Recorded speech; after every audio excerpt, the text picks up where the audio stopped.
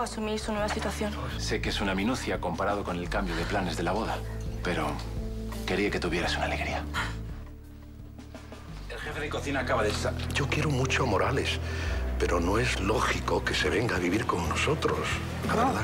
yo pienso lo mismo, pero hay que decírselo. Y cuanto antes lo hagamos, mejor.